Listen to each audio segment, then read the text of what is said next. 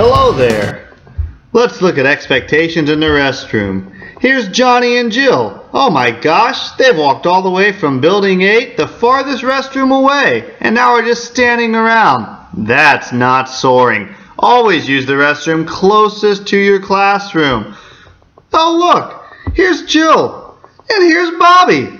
They're just chilling out in the restroom again, talking, wasting time. What is this? Robbie? He's just running down the hallway, and little Billy, he's drinking out of his water bottle. All these students are not soaring. You need to be in class. You need to be using the restroom as quickly as possible and always have a pass. Oh, these students are not soaring.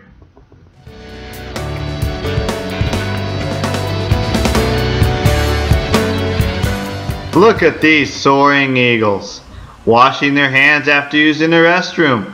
Moving quickly to go to back to class. This is what you call soaring eagles. Good job, ladies. Keep up the good work. Oh, and good job having a pass.